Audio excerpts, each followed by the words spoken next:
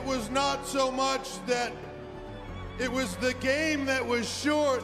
Maybe it was that the field I was playing on was just too damn big. No, no! You can't. Let me make it a little more clear for you. Even a 747 looks small when you're flying it into the Grand Canyon. What in the world? You, me, and the great wide open over here. What do you say?